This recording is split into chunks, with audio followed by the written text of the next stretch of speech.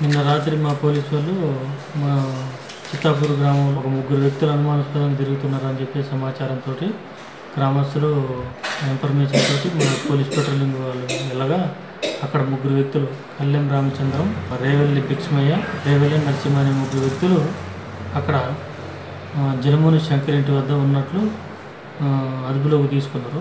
వాళ్ళు విచారిస్తే అక్కడ ఎందుకున్నారని చెప్తే వాళ్ళు ఆ, కనకయ్య అనేటటువంటి ఒక వ్యక్తి సమ్మక్క సారక్క గద్ద చెప్తారట.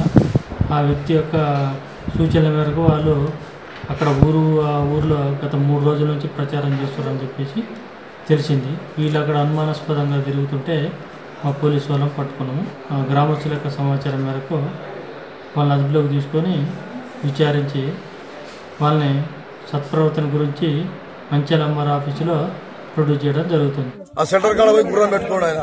రోజు పొద్దున్న లేచి ఇద్దరు మంది డబ్బులు కొడుతూ ఊరంతా పాదయాత్ర చేస్తున్నాయి గుర్రం మీద వస్తున్నాయి ఆయన. ఎందుకు రాపిద్దాం లైసెన్స్ ఉందా? మరి సైన్స్ ఉందా? ఎవరిచ్చిన పవర్ అది గ్రామ పంచాయతీ? ఎట్లా వస్తున్నా ఎదురు అడిగిన మేము.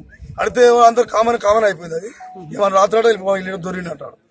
దొరికినప్పుడు చెడ్డ మధ్య దొంగలు దొంగలు లొలి పెట్టారు అసలు గురు దెంగపోయి ముగ్గురు పిఎస్ లేచారు అడుక్కున్న విధానాలలో కూడా ఒక లేటెస్ట్ పద్ధతి ఎంచుకొని ఆ పద్ధతిలో ఈ వి- విధంగా గ్రామాలలోకి వచ్చి అమాయకమైనటువంటి గ్రామీణ ప్రాంతాలలో ఉన్నటువంటి పేద ప్రజల దగ్గరకు వచ్చి మేము గురువులం అని చెప్పేసి ఒక ఒక ఆధ్యాత్మికమైన ఒక దేవుని ప్రభావంతో దేవుని మీద నమ్మకం ఉన్నదని ఒక గుర్తింపుగా చూసుకుని ఊర్లలోకి వచ్చేసి ఒక గుర్రం మీద అంటే ఒక లేటెస్ట్ పద్ధతిలో నీ ఇల్లు బాగాలేదు నీ వాస్తు బాగాలేదు నీ పిల్లలు బాగుండట్లేదని ఒక ఆ జనాలలో ఆడవాళ్ళలో మగవాళ్ళలో ఒక విధమైన అనుమానాస్పదంగా చెప్పేయడం వల్ల వాళ్ళు కూడా నిజమేనో అనుకొని ఈ విధంగా కూడా దోసుకోవడానికి ఈ విధమైన మత గురువుల పేరుతోటి గ్రామాలలోకి రావడం జరుగుతుంది.